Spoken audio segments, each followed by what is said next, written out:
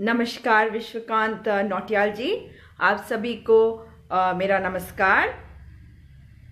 आज जैसा कि आपने देखा है मैंने लिखा है कि चुनावी मौसम है इसलिए इसमें जो जो चीज़ें होती हैं उनका तो क्या ही कहना आप भी मानेंगे। हाय अब्दुल मुजीब जी कैसे हैं आप? आपके मन में भी बहुत सारे सवाल उठते होंगे आजकल जिस तरह देश की अवस्था है, जिस तरह की चीज़ें हो रही हैं, उसमें देखिए ना सिर्फ़ आप अपने देश में रहते हुए चिंतित हैं, परंतु आप इतनी दूर से आप कुवैत से देख रहे हैं, अब्दुल मुजीब जी। Good evening ji, Rajkumar Bagga ji. बहुत खुशी होती है मुझे जब आप लोग मुझसे जुड़ते हैं। आज मुझे थोड़ा देर हो गई, क्योंकि मैं कहीं गई थी और आजकल लोगों से बातचीत करने की बहुत ज़रूरत लगती है। मुझे मुझे ऐसा लगता है कि यदि हम लोग लोगों से बात नहीं करेंगे, लोगों को जागरूक नहीं करेंगे तो नुकसान हमारा होगा, हमारे देश का होगा और बाद में पछताने से कोई फ़ायदा नहीं होगा। तो उन सभी लोगों को मैं ये रिक्वेस्ट करना चाहूँगी कि जो भी लोग आपके आसपास है, उन्हें जागरूक करने की कोशिश करिए, उन्हें समझाने की कोशिश करिए, उनको असलियत दिखाने की कोशिश करिए। जी, मैं बिल्कुल ठीक हूँ, Abdul Mujib ji and I hope कि आप भी बिल्कुल ठीक होंगे।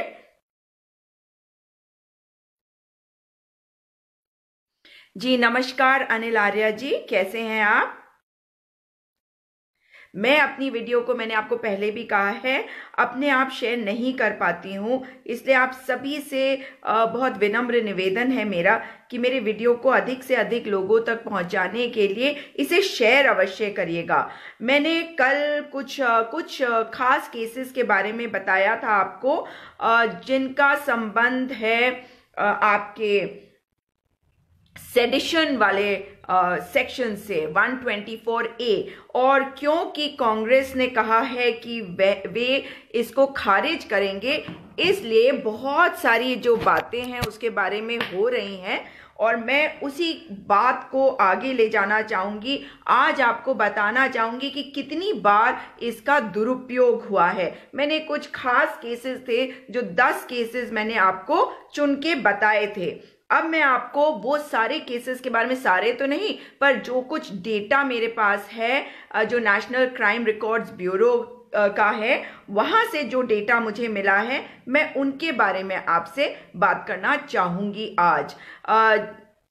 जय हिंद लाल सलाम जय गुप्त जी। आ, कैसे हैं आप? और आप लोगों से, सभी से जैसा मैंने कहा, उम्मीद करती हूँ कि इस वीडियो को अधिक से अधिक लोगों तक शेयर करवाइएगा। और आपने देखा होगा कि मैंने अपने पेज पर, आपके अपने पेज पर एक पोल के लिए डाला था कि किसको चुनना चाहते हैं आप अब की बार। क्या आप नरेंद्र मोदी जी को चुनना चाहते हैं या राहुल गांधी जी को? और उसमें यदि आप देखें तो बहुत सारे घुसपैठिए भी आए हैं, जो बहुत कुछ कह भी रहे हैं, उनका बहुत बहुत स्वागत भी है। और मैं आप लोगों से भी उम्मीद करूँगी कि आप लोग अधिक से अधिक लोगों को लाके इस पोल में भी उनका जो मत है, उसका मतलब उसको पोल करवाएँ, उनका वोट डलवाएँ। अजय शंकर यादव जी कह रहे हैं, चौकीदार चोर है। जी अब चौकीदार जो चोर है, उस चोर को एक्सपोज करने की तो आवश्यकता है, आप इस बात को मानेंगे। और यही कोशिश हम सबको करने की अब ज़रूरत है। हमें ज़रूरत है कि जो कुछ झूठ हमें दिखाया जा रहा है, जितनी झूठी बातें हमें बताई जा रही हैं, लोगों को भ्रमित किया जा रहा है और आपको समझना पड़ेगा, यदि आप समझदार हैं तो ये मत सोच लीजिए कि हर कोई इतना समझदार है। ऐसा होता है कि जब आप किसी चीज़ की उम्मीद लगा के रखते हैं तो आपको लगता है कि जब आपको कोई कह रहा है जो एक पोजिशन ऑफ़ पावर में है और वो ये कहे कि नहीं, जो आप सोच रहे हैं, अभी मैं नहीं कर पाया, मैं करूँगा। लेकिन इस करूँगा और करने में आपको पता है, बहुत ज़्यादा अंतर है, बहुत भयंकर अंतर है। क्योंकि ये भ्रमित करने के लिए कहा जाता है। ये बातें जो हैं, आप समझते हैं, मैं समझती हूँ, पर देश की बहुत सी जनता ऐसी है जो इस बात को नहीं समझती। उन सब तक अपनी आवाज़ को पहुँचाने की हम सबको आवश्यकता है उन सबको समझाने की आवश्यकता है। इसलिए उम्मीद कर रही हूँ कि आप भी इस पूरी मुहिम में भागीदार बनेंगे। जी, हाय उदय यादव जी।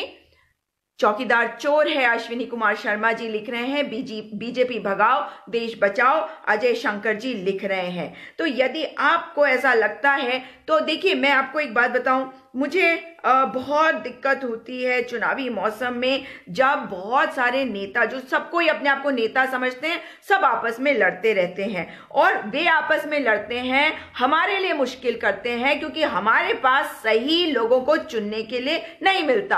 आपके उत्तराखंड की सभी सीटें बीजेपी की दिखा रहे हैं ओपिनियन पोल में। क्या ये सच है? आप बताइए मेरे को, मैं आपको फिर से बताती हूँ। जो मैं जिस क्षेत्र में मैं हूँ मैं उसके बारे में आपसे सबसे पहले बात करना चाहूँगी। मैं रहती हूँ टिहरी क्षेत्र में। जी? और टिहरी क्षेत्र से हमारी जो एमपी हैं 2009 में भी चुनी गई 2014 में भी चुनी गई। उनका नाम है माला राजलक्ष्मी शाह। और आ, मतलब बहुत ही आ, बहुत ही पोलाइट हैं बहुत ही सौम्य हैं बहुत ही अच्छे नेचर की महिला हैं। परंतु नेता नहीं है।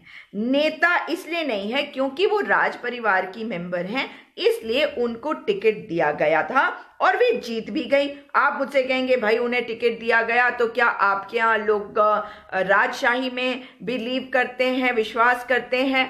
नहीं, ऐसा नहीं है। मैं उसका कारण बताऊँगी कि वे जीती क्यों। और ये नहीं कहा जा रहा किसी भी चैनल में। हर जगह दिखाया जा रहा है कि राजशाही को हम मानते हैं। ऐसा बिल्कुल नहीं है। उत्तराखंड में पढ़े लिखे लोग रहते हैं। देहरादून में पढ़े लिखे लोग रहते हैं। ये एजुकेशन हब है। ये शिक्षा का हब है। यहाँ पे समझदारी से लोग वोट करते हैं। जी, आपने लिखा है, चौकीदार की नोटबंदी से मुझे बहुत नुकसान हुआ मुजीब जी लिख रहे हैं। जी, अशोक गौतम जी नमस्कार। एक बात पूछो, मैडम, बीजेपी में मिलते ही चोर व ऑनेस्ट हो जाता है। कैसे हो? अशोक गौतम जी लिख रहे हैं, बिल्कुल ठीक हो। अजय शंकर जी, आपकी बात का जवाब दूँगी। ये ये जो है ना, ये पता नहीं कौन सी वाली कंपनी का, ये बीजेपी कंपनी का ये वॉशिंग मशीन है, जिसके अंदर जैसे ही लोग जाते हैं, वो धुल के, सफ़ाई होके निकल आते हैं। परंतु यहीं पे आपको बताना चाहूँगी कि किस प्रकार से 2009 में यहाँ पे कांग्रेस हार गई थी जो लोकसभा का चुनाव था, उसमें। जानते हैं क्यों हार गई थी? क्योंकि कांग्रेस ने वही अंदर जो इनके गुटबाजी चलती है और आपसी लड़ाई होती है, बहुत सारे फैक्शंस हैं, ये जो है ना, ये नेगेटिव साइड होता है लोकतंत्र का। लोकतंत्र में आप क्या होता है, आप सोचते जी, मेरे तो राइट्स है, मेरी कोई रिस्पॉन्सिबिलिटीज है, ये नहीं सोचते। 2019 का बताएँ। मैडम जी, मैं बता रही हूँ, उदय यादव जी, आपको यही बता रही हूँ कि 2009 में माला राजलक्ष्मी शाह के विरुद्ध खड़े थे साकेत बहुगुणा, जो उस समय के मुख्यमंत्री विजय बहुगुणा के पुत्र थे। अब क्या हुआ कि वे क्यों हारे? वे इसलिए हारे क्योंकि हमारे उत्तराखंड की अधिकांश जनता और खास करके टिहरी जनपद की अधिकांश जनता ये जानती थी कि उनको चुनने का मतलब है कि अपने प्रदेश को और भी बुरी तरह से लुटवा देना। Hi Neha how are you now इस वजह से लोगों ने समझी इस बात को और जो हार्ड कोर कांग्रेसी वोटर भी था, जो पढ़ा लिखा वोटर था, उसने वोट नहीं दिया साकेत बहुगुणा को। आज विजय बहुगुणा और साकेत बहुगुणा कौन सी पार्टी में है? वे हैं भाजपा में। तो इस प्रकार के नेता के पुत्र को ये तो अच्छी बात है कि हमारे प्रदेश की जनता ने हरा दिया था 2009 में। फिर 2014 में इन्होंने क्या किया? ये ज़रूर है कि सब झूठ और भ्रम फैलाया जा रहा था और उस वजह से इतना बेवकूफ़ बनाया जा रहा था लोगों को कि लोग समझ नहीं पा रहे थे कि क्या सच है, क्या गलत है। मगर जो हमारे यहाँ के इंटेलेक्चुअल्स थे, वो जानते थे कि लोग भ्रमित हो रहे हैं, परंतु वे, उनके लिए बड़ा मुश्किल हो रहा था कि कैसे करके लोगों को समझाए। ये खास बात है देहरादून की। यहाँ पे जो लोग हैं, वो समझाना ज़रूर कोशिश करते समझाने की एक दूसरे को। अब देखिए, जी, बहुत अच्छा लगा सुन के। फरीद जी कि आप ठीक हैं? नजबा बेगम खान जी नाइस इंफॉर्मेशन आप लिख रही हैं। आई होप कि मेरी इंफॉर्मेशन से अधिक से अधिक लोगों के अंदर जागरूकता पैदा होगी और आपसे उम्मीद करती हूँ कि आप इस वीडियो को अवश्य शेयर करेंगी। खैर, वापस आती हूँ अपनी बात पर। जहाँ तक बात है हमारे नेताओं की। जिस तरह से इन्होंने काम किया है, हमारे प्रदेश में जिस प्रकार से इन्होंने लोगों को बेवकूफ़ बनाया 2014 में, और जो जिस प्रकार से प्रधान सेवक ने सब जगह झूठ बोला, लोगों को ऐसा भ्रमित किया तो आ, क्या हुआ कि लोगों को लगा कि नहीं यही वो व्यक्ति है जो बहुत कुछ करेगा? और इनकम्बेंसी का एक फैक्टर ज़रूर था क्योंकि 10 वर्ष हो गए थे कांग्रेस को। और इसमें कोई शक नहीं है मैं आपको बताऊँ एक हमारा पड़ोसी देश है भूटान वो बहुत छोटा देश है। वहाँ पे मोनाकी थी मतलब वहाँ पे एक राजा आ, मतलब एक रा, राजशाही थी। परंतु वहाँ के राजा ने स्टेप डाउन करके वहाँ खुद लोकतंत्र की स्थापना करी जबकि लोग नहीं चाहते थे। आप यकीन नहीं करेंगे कि ऐसा होने के बावजूद कि वो लोग नहीं चाहते थे वे अपनी जगह उन्होंने छोड़ दी। उन्होंने कहा नहीं हमारे यहाँ लोकतंत्र होना आवश्यक है।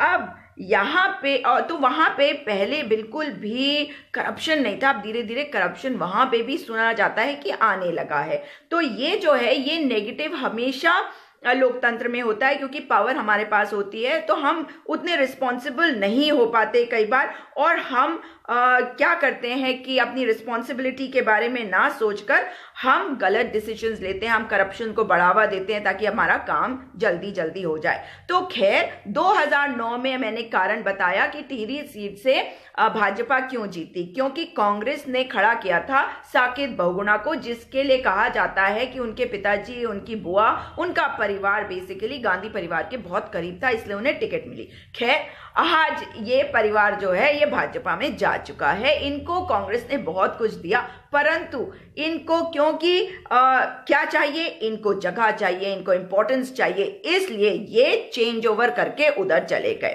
ठीक है? अब देखिए क्या हुआ कि जब 2014 का इलेक्शन आया तो कांग्रेस ने फिर दबाव में आकर एक विधायक को खड़ा कर दिया जी। अब ये विधायक जो हैं इन्होंने काम किसी का किया नहीं था, ये पार्षद थे, तब काम करते थे। मगर इनके अंदर विधायक बनने के बाद ऐसा घमंड आ गया, और ये बने क्यों विधायक? क्योंकि पार्षद जब थे तो लोगों को लगता था, भाई, ये काम करते हैं। मगर जब ये विधायक बन गए और इन्होंने काम नहीं किया, तब इनको टिकट दिया जाना निहायत ही बेवकूफ़ी थी कांग्रेस पार्टी द्वारा। इनको टिकट दे दी गई और ये हार गए। क्योंकि एक तो झूठ का मौसम चल रहा था, उस टाइम पे बाढ़ आ रखी थी, तूफ़ान आ रखा था, और आप सब जानते हैं ईवीएम की कहानी। उसके बारे में मुझे बोलने की आवश्यकता नहीं है। ऊपर से कांग्रेस का ये कमज़ोर कैंडिडेट अब सुनिए, अब की बार क्या है? अब की बार इनकम्बेंसी है, आप इस बात को मानेंगे। दूसरी तरफ़ ऐसा भी है कि जिन लोगों की हम बात कर रहे हैं ना दोस्तों हम बात कर रहे हैं माला राजलक्ष्मी शाह को, जिनकी शक्ल आज तक उनकी कॉन्स्टिट्युएंसी में किसी ने नहीं देखी। Pritam Singh on the other hand जो कांग्रेस से हैं, जो कांग्रेस के कैंडिडेट है, वो एक तो जाने जाते हैं to be a soft spoken person बहुत सौम्य है और हर एक से मिलते जुलते हैं। परंतु मैं ये कहूँगी कि उनको हर एक के घर तक पहुँचना चाहिए, या उनके लोगों को पहुँचना चाहिए, या उनके परिवार वालों को पहुँचना चाहिए इस चुनावी मौसम के दौरान। ये नहीं कि लाइटली ले ले, जो कांग्रेस बड़ी आसानी से ले लेती है। और ये इस बार इन्हें नहीं करना चाहिए, यदि ये सचमुच में जीतना चाहते हैं तो। अब देखिए, हुआ ये कि इस बार जो हवा बह रही है वो यही है कि लोग नाराज़ है कि माला राज लक्ष्मी शाह ने कभी भी अपने कॉन्स्टिट्युएंसी के लोगों से मिलने की कोशिश तक नहीं करी जहमत नहीं उठाई कि लोगों से कनेक्टिविटी बना के रखें। इस वजह से लोग उनसे नाराज़ हो र, हो रखे हैं। अब इसमें एक बहुत बड़ा फैक्टर जो है जो प्लस है ये मैं नेगेटिव बात मानती हूँ कि इससे नाराज़ हो गए तो हमने दूसरे को वोट दिया। है ना? अब है क्या कहानी यहाँ पे? कहानी ये है कि प्रीतम सिंह जो हैं, उनके फादर का भी बता दूँ कि वे कभी इलेक्शन नहीं हारे जॉनसर बावर के रीजन से, जब हम उत्तर प्रदेश का हिस्सा थे और वो एक माने हुए लेजेंडरी नेता थे। और उनके पुत्र हो, हैं प्रीतम सिंह जी और इन्होंने भी बहुत सा काम किया है। आपके जौनसा रीजन में भी, और पार्टी ने इनको, कांग्रेस पार्टी ने इनको, अब कांग्रेस प्रदेश अध्यक्ष भी बनाया है। वो इसीलिए क्योंकि और इनकी भी कोशिश है कि ये सबको साथ लेके चले। खाली ये है कि ये थोड़ा सॉफ्ट स्पोकन हो जाते हैं तो सॉफ्ट बन जाते हैं जब ये सबको साथ लेने की बातें करते हैं। कभी कभी थोड़ा सा अनुशासन के लिए इन्हें कड़क होने की आवश्यकता है। जैसा अब आप देख लीजिए तो इसलिए ये दोनों जो कैंडिडेट्स हैं, इनके बीच में आप ही मुझे बता दीजिए, आप इनमें से किसी को ना जानते हो। आपको क्या लगता है, किसको वोट दिया जाना चाहिए? उनको जो दो बार सांसद रही और फिर भी उनकी शक्ल कभी नहीं दिखाई दी, या उनकी जो हर एक से मिलते हैं और जिनसे आप ये उम्मीद लगा सकते हैं कि ये काम करेंगे। और फिर उनकी उम्र और माला राजलक्ष्मी शाह को यदि आप देखें तो फ़र्क है, ये काफ़ी यंग है, उनके मुकाबले। में मतलब आप एज के हिसाब से अगर यंग वगैरह बताने लगेंगे तो मैं उसमें नहीं जा रही हूँ। अब देखिए, ऐसा है कि जब हम इस प्रकार के नेताओं की बात करते हैं तो हमारी उम्मीद बढ़ जाती है, हमें ये भी लगता है कि नहीं, ये जो है, ये खरे उतरेंगे अपने वादों पर। और कम से कम ये भी है कि ये हमारे रीच में है। इनसे हम काम हम चाहें तो करवा सकेंगे। और इस वक्त जो सबसे इंपॉर्टेंट चीज़ है, जिस प्रकार देश के हालात हैं, उसमें से देश को निकालने की आवश्यकता है और उसके साथ ऐसे व्यक्ति को भेजने की आवश्यकता है जो आप और मैं जानते हैं कि ऐसा व्यक्ति नहीं है जो इस पार्टी से उस पार्टी में चला जाएगा। क्योंकि ये खासियत है हमारे टिहरी के कांग्रेस कैंडिडेट के। तो टिहरी के कांग्रेस कैंडिडेट जो है प्रीतम सिंह जी, वो अवश्य जीतने की स्थिति में यदि ईवीएम में गड़बड़ी नहीं होती। तो टिहरी सीट में इनकम्बेंसी है आ, कभी चेहरा नहीं दिखाए जाना मजबूरी में उनको वोट दिया जाना ये है माला राज लक्ष्मी शाह जी जो बीजेपी की कैंडिडेट कैंडिडेट हैं उनकी उपलब्धियाँ। और दूसरी तरफ़ एक ऐसा व्यक्ति है जो विधायक बनते रहे हैं और एज अ विधायक भी बेहद अच्छा काम करते रहे हैं और ये रिकग्नाइज्ड है। मतलब he is known to be the best विधायक अराउंड तो अगर वे सबसे सर्वश्रेष्ठ विधायक और चुने भी गए हैं। तो उस तरह से अगर आप देखें तो ये पक्की बात हो गई कि ऐसे व्यक्ति को हम सब चुनना चाहेंगे भी। अब दूसरी सीट बताती हूँ मैं आपको। अजय भट्ट जी जो बीजेपी के प्रदेश अध्यक्ष हैं he is pitted against Harish Rawat ji, जो चीफ मिनिस्टर थे उत्तराखंड के। पिछली बार वो दो सीटों से लड़े, दोनों सीटों से हार गए। परंतु फिर भी वे एक दिग्गज नेता हैं। और वे खिलाड़ी नेता हैं। इतना आसान नहीं होगा उन्हें हराना यदि आपकी ईवीएम में कोई गड़बड़ी ना हो। यदि 50 परसेंट वीवीपैट का मिलान हो तो बहुत मुश्किल होगा कि उनको हराया जाए। हाँ एक और फैक्टर है जो उनके लिए बड़ी दिक्कत कर सकता है। उन्होंने लोगों के बीच में आ, कई ऐसे ऐसी चीज़ें उठाई हैं पहाड़ी प्लेन ये सब इन्होंने इसको बढ़ावा दिया है। तो बहुत से लोगों में ये रोष है मगर फिर भी मुझे लगता है कि अजय भट्ट जी जो हैं, वो इनके विरुद्ध अगर इलेक्शन लड़ रहे हैं तो वे एक कमज़ोर कैंडिडेट के तौर पे नज़र आ रहे हैं। अब वक्त बताएगा कि कौन असली में जीतता है, कौन हारता है, परंतु अब देखते हैं। इस सीट में थोड़ा सा इसलिए डाउट भी हो रहा है कि इनके कहीं अंदर खाने ही लोग इन्हें हराने की कोशिश ना करें। और खास करके जो बीजेपी में चले गए, जैसे विजय बहुगुणा जी हैं, हरक सिंह रावत जी हैं आपके एक और कौन है? सतपाल महाराज जी हैं। इन सब लोगों ने कांग्रेस छोड़ी थी इनके इनके कार्यकाल में। तो ऐसा ना हो कि ये सब जो है इनको हराने के लिए अपना पूरा ज़ोर लगा दें और भाई मैं हराने का नॉर्मल तरीका नहीं कह रही हूँ कि भाई आपने वोट दिया और वो हार गए। नहीं मैं सब तरह की तिकड़मबाजी की बात कर रही हूँ जो बिल्कुल अच्छी बात नहीं है हमारे देश में होता है आप भी जानते हैं पर मैं उसकी बात कर रही हूँ। खैर जब मैं बात करती हूँ इनकी तो एक और चीज़ जो मुझे ध्यान में आती है वो ये है कि आ, हमारे पौड़ी सीट से कौन खड़ा है? हमारे पौड़ी सीट से जो कंटेस्टेंट्स हैं, अब सुनिए वहाँ का मज़ा। वहाँ पे एक कर्नल कोठियाल खड़े हो रहे थे, फिर उसके बाद उन्होंने डिक्लेयर किया कि वे इलेक्शन नहीं लड़ेंगे। अगर वो खड़े होते तो वे भाजपा का वोट काटते। मगर अब हुआ यह है कि तीरथ सिंह रावत जी खड़े हैं बीजेपी की तरफ़ से, जो हमारे पूर्व मुख्यमंत्री, मेजर जनरल बीसी खंडूरी के खास माने जाते हैं। परंतु कांग्रेस की तरफ़ से कौन खड़ा है? मेजर जनरल बीसी खंडूरी के पुत्र Manish Khanduri.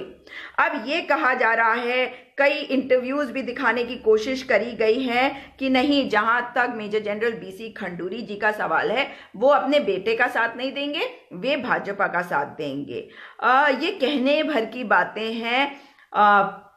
The point is कि अगर आप मनीष खंडूरी जी को देखें तो मनीष खंडूरी जी एक जर्नलिस्ट थे जिनकी कोई ऐसी कोई पॉलिटिकल पहचान नहीं है। हमारे प्रदेश में, या वैसे भी पहचान कम है? लोगों का ये भी कहना है कहना है कि पिता और पुत्र की नहीं बनती थी और ये सारी कहानियाँ कि पिताजी अगर एक जगह पे हैं तो बेटा दूसरे दरवाजे से निकल जाता था, ये सारी कहानियाँ आप फैलाई जा रही हैं। आप समझ ही सकते हैं कि भाजपा इनको क्यों फैला रही होगी और कितना भी क्यों ना हो। आ, मैं ये मानती हूँ कि पुत्र तो वे मेजर जनरल बीसी खंडूरी के ही है ना। Major B, general BC Khanduri एक फौजी होने के नाते उन्होंने कुछ सवाल उठाए थे जब वे डिफेंस कम, एक कमेटी है जो पार्लियामेंट की उसके चेयरमैन थे।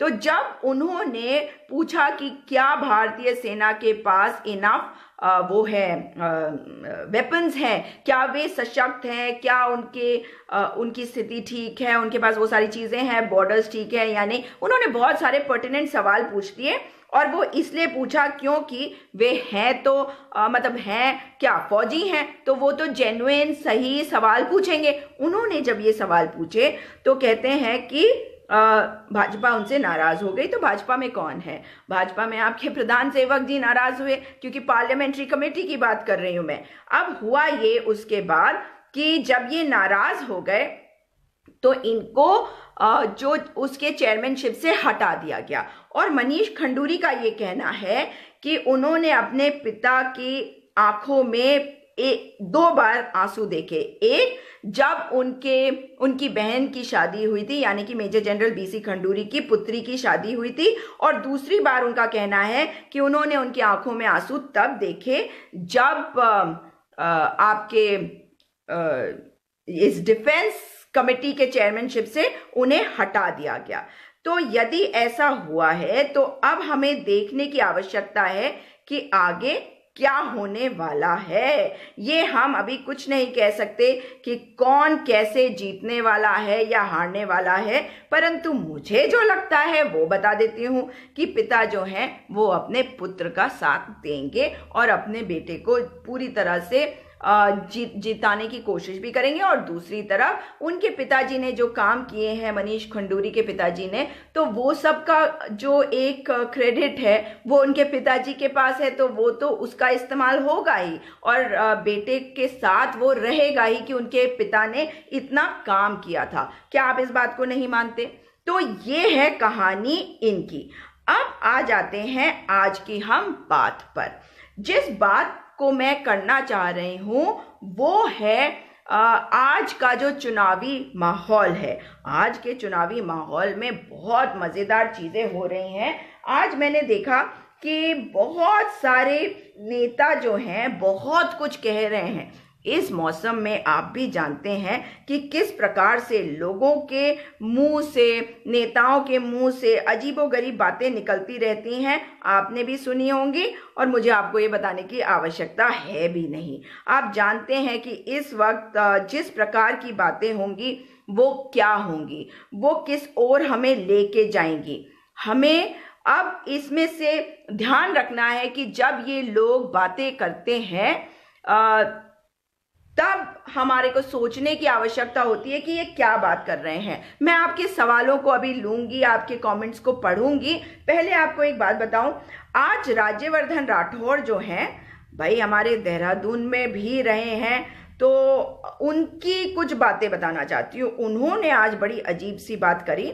उन्होंने कहा कि पप्पू पप्पू, ये पप्पू पास कब होगा? ये शब्द इनको क्या अब शोभा देते हैं? ये शब्द इसलिए इनको शोभा नहीं देते क्योंकि ये सोच ही नहीं रहे कि क्या कह रहे हैं। क्योंकि इन्होंने ऐसा एक इमेज बनाना है किसका? राहुल गांधी का। ये चाहते हैं कि राहुल गांधी का एक ऐसा इमेज बने ताकि लोग ये सोचे कि भाई ये जो है ये कुछ करने के लायक नहीं है, मगर इनका जो डर है वो वो बताता है और इनकी ये मानसिकता है। आप मुझे बताइए, यदि आपके घर के किसी बच्चे को या किसी बच्चे को कह रही हूँ मैं, बड़े को तो भूल ही जाइए, किसी बच्चे को कोई कहे, अरे, ये तो बिल्कुल ही नालायक है, ये कुछ करने के लायक नहीं है। कैसा लगेगा आपको? क्या दुनिया में कोई भी ऐसा व्यक्ति है, कोई भी ऐसा इंसान है, कोई भी ऐसा बच्चा है, बच्चे, बच्चों की भी बात कर लेते हैं, जिसके अंदर पोटेंशियल नहीं होता, जिसको इस तरह की बातें कही जानी चाहिए? हाँ? किसी भी ऐसे व्यक्ति को क्या ऐसी बातें कही जानी चाहिए? क्या ये किसी को भी शोभा देती है कि आप दूसरों को डिमीन करें डेरोगेटरी शब्दों का इस्तेमाल करें, किसी को भी नीचा दिखाने की कोशिश करें? क्या आपको यह अधिकार है कि आप किसी के लिए भी इस प्रकार के अपशब्द कहें? आप अगर किसी को कुछ कहना चाहते हैं तो उनको ये कहिए कि उन्होंने काम क्या किए। यदि उन्होंने वादे किए और काम नहीं किए तो उनकी तरफ़ उंगली उठाइए। यदि किसी ने आपको सपने दिखाए और सपने तोड़ दिए आपके तो उनको उनको सवाल कीजिए। उनकी तरफ़ दागिए अपने सवाल। आप उस व्यक्ति को कहाँ पे लाके रख दे रहे हैं? देखिए तो जरा, हमारे प्रधान सेवक जो आज़ाद भारत में जन्मे, परंतु उन्हें आज़ादी का मतलब मालूम ही नहीं। और इसी वजह से आज वे क्या करते हैं? वे राहुल गांधी से इतना डरते हैं, इतना डरते हैं। पहले कहते रहे कि इस पार्टी में और कुछ है नहीं, और कोई है नहीं। आज इनकी हालत देखिए। एक के बाद पहले उन्होंने जनवरी में, आपको याद है, एक इंटरव्यू दिया था एक टेलीविज़न चैनल को। और क्या बढ़िया इंटरव्यू था, है? बिल्कुल स्टेज इंटरव्यू। ऐसे सवाल भाई, कितने डिफ़िकल्ट सवाल थे, जिनके आंसर आप और मैं भी जानते थे। और आसानी से गप्पू पास हो गया। ये गप्पू जिसको पप्पू कहता है, उस पप्पू ने इसकी हालत खराब करके रख रखी है। उस पप्पू ने इनको, इनकी असली औकात दिखा के रख दी है। उस पप्पू ने इसका गप्पू बना सबके सामने लाके रख दिया है कि ऐसी हालत कर दी भैया कि जो कह रहा था, मुझे चौकीदार बना दो। क्या कहा था इस आदमी ने? आप मुझे बताइए, क्या इस व्यक्ति ने यह नहीं कहा था कि मुझे साठ महीने दो? क्या इस व्यक्ति ने नहीं कहा था कि इनको साठ साल दिए? आप मुझे साठ महीने के लिए चौकीदार बना दो देश का। और चौकीदार बनाकर हुआ क्या? इन्होंने देश का सत्यानाश कर दिया। इन्होंने गरीबी जो है, बढ़ा दी। इन्होंने बेरोजगारी बढ़ा दी। इन्होंने लोगों के साथ कितनी नाइंसाफी कराई। धर्म के नाम पे इन्होंने लोगों को बांट दिया। अब डरे हुए हैं? इतना डरे हुए हैं कि कल सुबह किसी चैनल पर एक इंटरव्यू आने वाला है इनका। जहाँ ये बताएँगे कि इनका मुसलमानों से क्या रिश्ता है। भाई, मैं इनसे जानना चाहती हूँ, ये भारत देश में रहते हैं। इन्होंने सवाल उठाया राहुल गांधी पर कि वो वायनाड से इलेक्शन क्यों लड़ रहे हैं? क्यों नहीं एक ऐसी जगह से इलेक्शन लड़ते जहाँ मेजोरिटी है? तो प्रधान सेवक, ये भी बताते जाओ कि तुमने क्यों नहीं किया ऐसा? कि देश में जिस बात के आरोप लगे तुम पर कि तुम माइनॉरिटीज के साथ अत्याचार के आरोपी हो, तुम माइनॉरिटीज के बारे में सोचते नहीं हो। तो क्यों चले गए एक सेफ़ सीट पर? क्यों मुरली मनोहर जोशी जी की सीट पर वाराणसी चले गए कि गंगा मैया ने बुलाया है? अरे गंगा मैया ने बुलाया था तो गंगा मैया के पास कब तक रहे? क्या किया गंगा मैया के लिए? ऐसा भ्रमित कर दिया कि लोगों ने कहा कि गंगा मैया साफ़ हो जाएगी, राम मंदिर बन जाएगा, देश से भ्रष्टाचार समाप्त हो जाएगा। आतंकवाद का नामो निशान नहीं रहेगा। पाकिस्तान के दस दस सैनिक आएँगे हमारे हर एक सैनिक के बदले।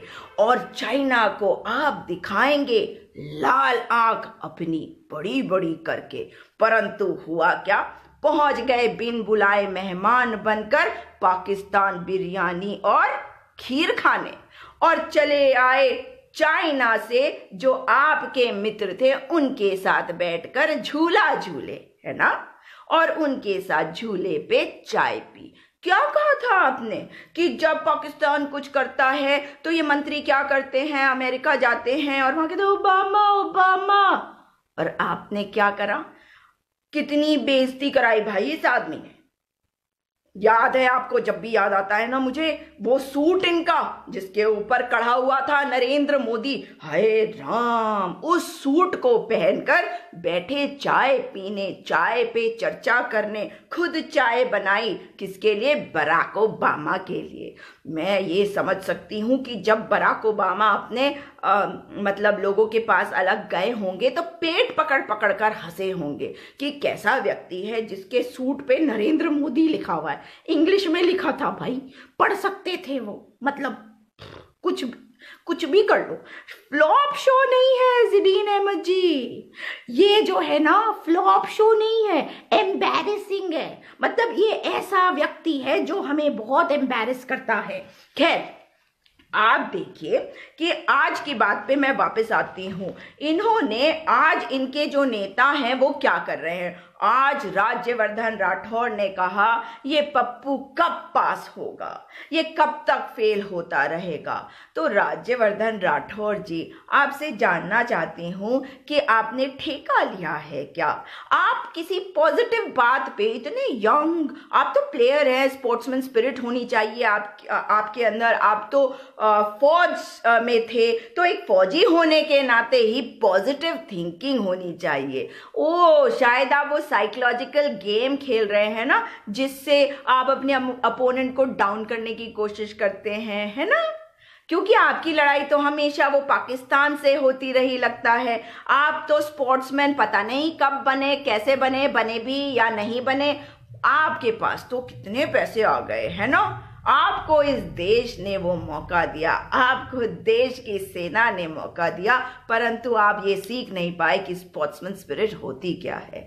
मैं उम्मीद करती हूँ कि आप अब पॉजिटिव थिंकिंग के साथ बात करेंगे। आपको जानती हूँ आपको आ, कुछ हद तक मिली हुई हूँ इसलिए आपसे उम्मीद करती हूँ कि थोड़ा पॉजिटिव थिंकिंग रखिए। देहरादून में आपने आ, मतलब जहाँ मैंने आपको देखा है खूब अच्छा बास्केटबॉल खेलते हुए एक बहुत ही आ, अच्छे प्लेयर है और बहुत स्ट्रांग आपकी थिंकिंग है। अब ये उम्मीद कर रही हूँ कि थोड़ी सी पॉजिटिव थिंकिंग के साथ अपनी कैंपेनिंग करिए। नेगेटिव वोट का मत, आप कोशिश करिए कि नेगेटिव वोट मिले आपको। समझ गए आप मैं क्या कह रही हूँ? खैर, आपके जो सामने हैं, वो भी एक बहुत बेहतरीन खिलाड़ी है। अब देखते हैं कि कौन जीतता है वहाँ से। अब आप देखिए, वो जो है ना हमारे हमारे यहाँ से गए भाई, पौड़ी से गए। पौड़ी वालों की तो चली पड़ी है। पौड़ी पौड़ी से योगी आदित्यनाथ गोरखपुर गए थे एमपी बने, बहुत कुछ किया।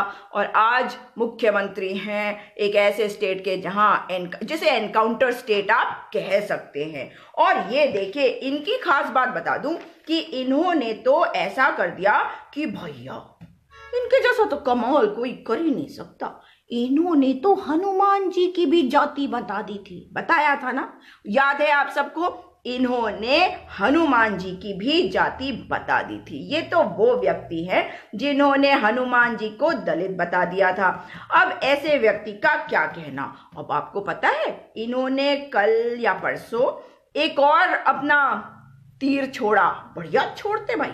छोड़ते तो बहुत बढ़िया तीर है। इन्होंने सेना को कह दिया, मोदी सेना मोदी सेना। अरे, कुछ सोच समझ के बोल सकते हैं या नहीं? पता नहीं। खैर, इन्होंने मोदी सेना कहा, हमारे देश की सेना को। अब इनके ये मोदी सेना कहने पर इलेक्शन कमीशन ने उनसे सवाल किया है, रिपोर्ट मंगवाई गई है उनके उनके इस बयान पर। खैर अब देखते हैं कि जवाब आता है रिपोर्ट आता है तो ये क्या कहते हैं? क्रांति शर्मा कप्रवान कह रहे हैं देश ने मौका दिया उन्होंने फेंक दिया फेकू जो है। फेकू है इसलिए इसने तो फेंकना ही था और इसको करना क्या था? खैर अब ये आ, इनकी बात आप सुन लीजिए ये अजीब अजीब से जो लोग हैं इनकी बात मुझे तो करना ही पड़ेगा भाई। ये जो योगी जी हैं जिन्होंने सेना को मोदी सेना बोल दिया आज इन्होंने कहा पाकिस्तान की लंका लगा देगी हमारी मतलब आ, मतलब बजरंग बली की याद आ गई है जिस प्रकार से हमारे प्रधान सेवक ने पाकिस्तान की लंका लगा ली है। बालाकोट एयर स्ट्राइक के बारे में बात कर रहे थे? क्या अजीब है, है? कभी बजरंग बली को दलित बता देते हैं, कभी ऐसी अजीबोगरीब बातें कर लेते हैं। क्या? मतलब जिसका कोई सेंस नहीं होता, ये ऐसी बातें करते हैं। वही मगर ये तो आपको मानना पड़ेगा, चुनावी मौसम में। रोना धोना ना हो। वो भी भाजपा की तरफ़ से। तो कैसे चलेगा? आपको पता है ना, गिरिराज सिंह कितने परेशान हैं, बेगूसराय से लड़ने में। मगर कह रहे हैं कि बेगूसराय तो मेरा ननिहाल है। खैर, अब देखते हैं कि बेगूसराय में कन्हैया कुमार जीतते हैं या गिरिराज से। जी, आपने लिखा है जीडीन Ahmed ji if Rahul Gandhi becomes a prime minister then all credit goes to you and Nishant Verma Nishant Verma ji से मिलना होगा? लगता है वे भी वैसा काम कर रहे हैं जैसा मैं कर रही हूँ। अच्छा खैर, आज रामपुर की बात बताती हूँ। रामपुर में भाजपा में गई। पता नहीं कौन सी पार्टी से उन्होंने स्टार्ट किया, ये पता है मुझे कि समाजवादी में थी, और भी किसी एक पार्टी में थी। फिर वो अमर सिंह जी ने एक पार्टी बनाई थी, उसमें भी थी। अब जो है, वे आ गए हैं किसमें? फूल। भाजपा की, भाजपा में। और वे भाजपा की कैंडिडेट बनाई गई हैं, और जानते हैं उन्होंने क्या कहा, वो स्पीच दे रही थी। I mean like it was so cute no वो कहने लगी कि तेजाब हमला होने जा रहा था, उन पर उन्होंने ये बात कही। मैं ये जानना चाहती हूँ, क्या इन्होंने किसी, कोई कंप्लेन करी थी इस बाबत? अगर करी थी, तब तो बहुत सीरियस इशू है, और जिसने ऐसा करने की कोशिश भी करी तो उसे सजा मिलनी चाहिए। परंतु वो कहते कहते रोने लग गई, भाई, अगर ऐसा कुछ हुआ होगा तो मैं मानती हूँ कि ये ये बहुत ही एक this can be really terrible and can be very scary but उनकी ये जो बात है ना भाई श्याम सुंदर पांडे जी। आ गए। फेक आईडी है। इनकी आईडी की तस्वीर देखिए। पहले तो आपकी क्या है उसमें? कह रहे हैं, आप खिजियाई बिल्ली हो बीजेपी ना भाव नहीं दिया तो आप इस तरह। बीजेपी बीजेपी कौन होती है किसी को भी भाव देने के लिए? बीजेपी बताएगी? बीजेपी वाले तो बहुत भाव दे रहे भैया। बता दू आपको। बीजेपी वाले इतने स्ट्रांग है, कांग्रेस वाले नहीं है। आपको एक सीक्रेट बता देती हूँ। अब सीक्रेट रहेगा ही नहीं जब बता रही हूँ। इन्होंने भाई दिल्ली से मॉनिटरिंग होती है फेसबुक की। और तीन अलग अलग नेताओं ने मुझे कहा कि हमसे कहा गया आपके बारे में पूछा गया। आपके बारे में आ, पता लगा लगा रहे थे तो हमने बताया कि हम तो जानते हैं। मतलब मतलब सोशल मीडिया पर वीडियो चलने पर देख लिया गया। समझ गया? कांग्रेस नहीं करती। कांग्रेस पता नहीं देखती भी है या नहीं। इन्होंने देख लिया। फिर उन्होंने कहा कि हमने उनको बताया कि नहीं, आपका बैकग्राउंड क्या है? आपकी आइडियोलॉजी किससे मैच करती है? तो आप भाजपा कभी नहीं ज्वाइन करेंगे। तो बल्कि मैं, पता है मैंने क्या बोला? मैंने कहा, आपने गलत कहा। ऐसी कोई बात नहीं है। मुझे जिन दो लोगों से दिक्कत है, उन दो लोगों से दिक्कत है। मगर हो सकता है कि मेरी आइडियोलॉजी आपसे मैच भी कर जाए कभी। ऐसा मैं नहीं कहती, मैं लोकतंत्र में रहती हूँ। अगर आइडियोलॉजी की मैच करने की बात है तो ये आपने गलत बात कही है। वैसे मैं इस वक्त तो आपकी पार्टी को बिल्कुल अच्छा नहीं मानती। जी हाँ श्याम सुंदर पांडे जी, सिर हिला रहे हैं ना? बहुत बढ़िया। ऐसे ऐसे ऐसे ही करिए, बिल्कुल। ये तो गधा बना दिया आपने, है? एक गधे वाला कार्टून बनाया इन्होंने। शायद गलत वाला चुन लिया। खैर, अब सुनिए, इन्होंने कहा कि मुझ पर तेजाब तेजाब का हमला होने वाला था या हो होने की तैयारी की गई थी। इसीलिए मैं सक्रिय पॉलिटिक्स से दूर हो गई, रामपुर से दूर हो गई और फिर इन्होंने जो रोना धोना मचाया भाई। इन्होंने कहा, मैं पहले जैसा मैं नहीं रोना चाहती। मैं हंसना चाहती हूँ। मैं जीना चाहती हूँ। अभी नीता है या क्या है? ऐसे कोई बोलता है? खैर, इन्होंने ये कहा। और सुनिए एक भाजपा के विधायक का भी एक मैंने कहीं पे बाइट देखा। उन्होंने क्या कहा? उनका नाम है अजय सिंह। उन्होंने कहा, राहुल गांधी को शादी विवाह कर लेना चाहिए और राजनीति से संन्यास लेना, ले लेना चाहिए। क्यों भाई, कितना डरते हैं आप, हैं? अगर राहुल गांधी संन्यास नहीं लेते आ, और क्यों ले भाई? है? क्यों डरते हो? देश को युवाओं की ज़रूरत है देश को युवा नेताओं की ज़रूरत है। और एक और बताती हूँ आपको आज की खबर में एक और खबर ये है कि वाया वाईएसआर कांग्रेस है शायद वो जगन मोहन रेड्डी जिसमें है उनके ऊपर आज सीआईएसएफ ने शायद लाठी चार्ज कर दिया उनकी आपस में कुछ झगड़ा वगड़ा हो गया। तो आज बड़ा मज़े आते हैं। पता है चुनावी माहौल में ये सब देखने में बस खाली चिंता रहती है किसी को चोट वोट ना लग जाए। और आज मेनका गांधी जी ने भी कहा सुल्तानपुर से कि बीएसपी के ऊपर उन्होंने बड़े खतरनाक आरोप लगाए। उन्होंने कहा कि बीएसपी जो है टिकट बेचती है और पंद्रह पंद्रह करोड़ रुपए में टिकट बेच रही है इस बार। तो खैर ये वही जानते हैं कि क्या होगा। आज बेगूसराय में आ, काले झंडे भी दिखाए गए कन्हैया कुमार को। अब ये सब तो चुनावी माहौल में होगा ही। कल प्रधान सेवक जी देहरादून आ रहे हैं। उनकी जो भाषण होगा, उसके तुरंत बाद मैं आप लोगों से जुड़ूँगी और उनके चुनावी भाषण का विश्लेषण करूँगी।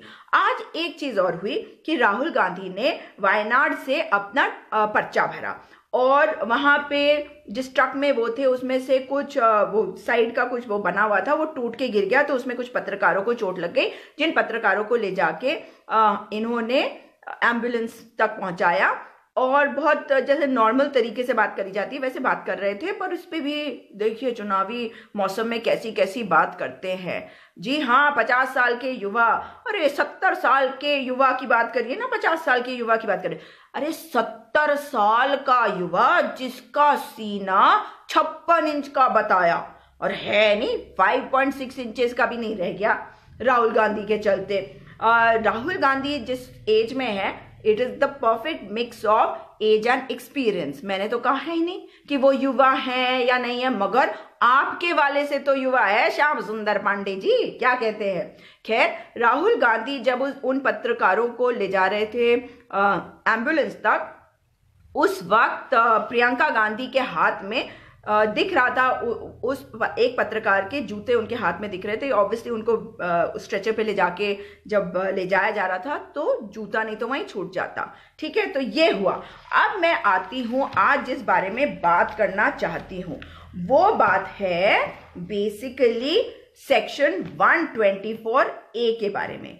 तो जब मैं सेक्शन 124 ए के बारे में बात करती हूँ तो आपको एक बात तो पहले बता दूँ कि ये जो सेडिशन का, जो आपका सेक्शन है, इसमें यदि आप देखें तो इसका मतलब क्या है? ये हमारे को समझने की ज़रूरत है। इससे पहले कि हम किसी भी बारे में बात करें।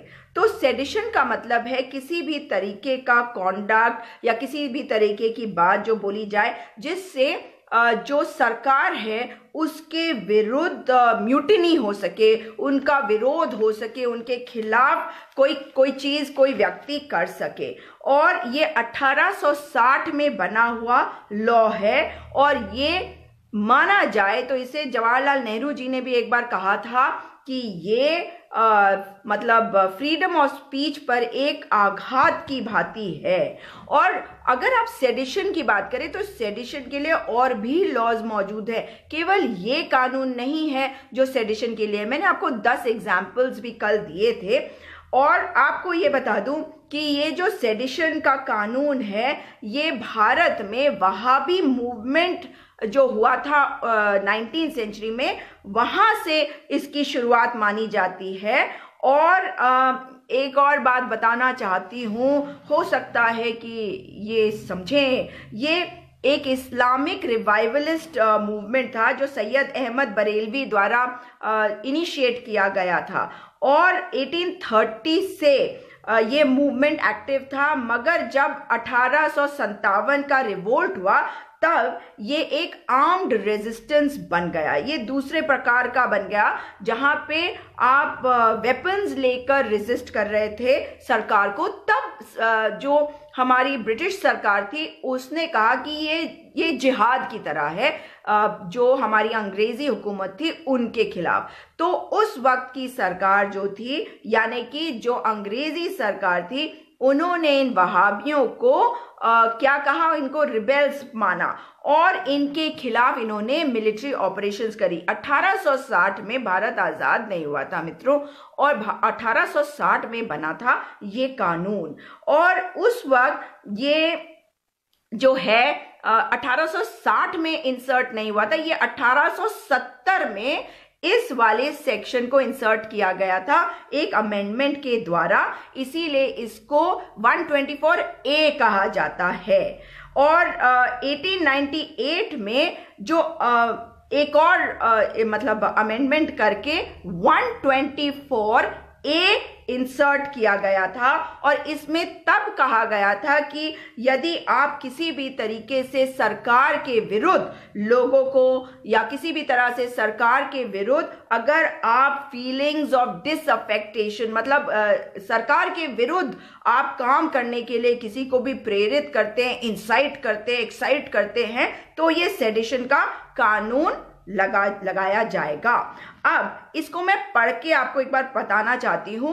हु जो भी बाय वर्ड्स ईदर स्पोकन और रिटर्न बोलकर या लिखे, लिखित शब्दों से और बाय साइंस या कुछ ऐसा करके और बाय विजिबल रिप्रेजेंटेशन या कोई भी ऐसी चीज़ जो दिखाई देती हो, समझ में आती हो, या उसके अलावा भी कुछ ऐसा हो, जिससे brings or attempts to bring into hatred or contempt or excites or attempts to excite disaffection towards the government shall be punishable with life imprisonment मतलब ये साफ़ है कि यदि सरकार के विरुद्ध किसी भी तरह की बात होती है किसी भी तरह के के आंदोलन को ये रास्ता देती है कुछ भी कोई भी चीज़ हो तो उसको किस प्रकार से सजा दी जाएगी? सेडिशन लॉ के हिसाब से सजा दी जाएगी by life imprisonment life imprisonment का मतलब होता है उम्र कैद की सजा। वहीं मेहमद जी लिख रहे हैं, मैडम, कहाँ से इतनी एनर्जी लाती हैं? आप लोग देते हैं मुझे इतनी एनर्जी। जब आपकी बातें सुनती हूँ और कई बार उनकी बातें सुनती हूँ, जिन्हें समझ में नहीं आता तो मुझे लगता है कि मुझे अपना काम करना चाहिए। इसलिए एनर्जी आई जाती है। देश का सवाल है। मेरा देश, भारत, मेरा भारत महान। तो अब देखिए, भारत में सेडिशन के कानून का बहुत इसके ऊपर डिबेट हुई है और इंडियन पीनल कोड आईपीसी के तहत जो सेडिशन का कानून है, उसके हिसाब से कुछ भी लिखा हुआ शब्द या बोला हुआ शब्द या कोई भी ऐसा साइन जो मतलब प्लैकार्ड्स हो पोस्टर हो, जो भी विजिबल रिप्रेजेंटेशन का मतलब किसी भी तरह की चीज़ जो दिखाई दे, इन सबको सेडिशियस माना जाता है यदि ये सरकार के विरुद्ध हो। अगर ये सब सरकार, भारत सरकार के विरुद्ध नफरत की भावना को बढ़ाए सरकार से सवाल करने पर लोगों को मजबूर करे या लोगों का सरकार से मन मुटाव करवा दे और उनसे मतलब जो प्यार मोहब्बत की बात है उसके विरुद्ध हो जाए। सिंपल सी बात यह है। तब इससे ये हो सकता है कि पब्लिक डिसऑर्डर हो जाए। मतलब पब्लिक डिसऑर्डर हो जाएगा क्या मतलब है? आप मुझे बताइएगा। या किसी तरीके का वायलेंस होने का चांस लगे तो ऐसी चीज़ों को ऐसी हरकतों को ऐसे मूवमेंट्स को कहा जाता है सेडिशियस मतलब वो आ, जो देशद्रोह के अंडर आता है। तो आप मुझे बताइए कि पब्लिक डिसऑर्डर तो आप और मैं हड़तालों को भी मानते हैं ना? पर हड़ताल जो है लोकतांत्रिक व्यवस्था की एक बहुत इंपॉर्टेंट उसका अंग है। तो हम ये तो नहीं कह सकते कि नहीं ये गलत है या कह सकते हैं। ये भी है अब आप देखिए अगर आप स्लोगन्स बोलते हैं जैसे आ, किस कोई भी बोडो वाले बोले या जैसे खालिस्तान जिंदाबाद बोला गया था या किसी भी तरह का जो स्लोगन है, अगर ये एक दो बार रेस किया जाए तो भारतीय कानून में जो कुछ हुआ अभी तक, उसके ऊपर कह रही हूँ तो इसको नहीं माना जाता सेडिशियस मगर ज़्यादा हो तो इसको सेडिशियस माना जाता है, ठीक है? और इसके अलावा अगर कोई इंसान कोई स्पीच देता है, जिससे ऐसा लगता है कि लोगों के अंदर सरकार के प्रति दुर्भावना आ जाए या उनके खिलाफत करने लगे तो उसको भी सेडिशन के तहत माना जाता है। और कोई भी चीज़ ऐसी लिखी जाए, जिससे लगता है कि वायलेंस हो या पब्लिक डिसऑर्डर हो जाएगा तो उसे भी सेडिशन माना जाता है। तो जहाँ पे लॉज की बात है तो मैं आपको ये बता दूँ कि सिर्फ़ ये एक का एक सेक्शन नहीं है आईपीसी का 124 ए इसके अलावा भी है तो इंडियन पीनल कोड मैंने आपको बताया 1860 के सेक्शन 124 ए के तहत सेडिशन कवर होता है। उसके बाद जो सीआरपीसी है कोड ऑफ़ क्रिमिनल प्रोसीजर 1973 के सेक्शन 95 के तहत भी इसके बारे में इसके, इसका पूरा प्रोसीजर इसके अंडर में दिया गया है।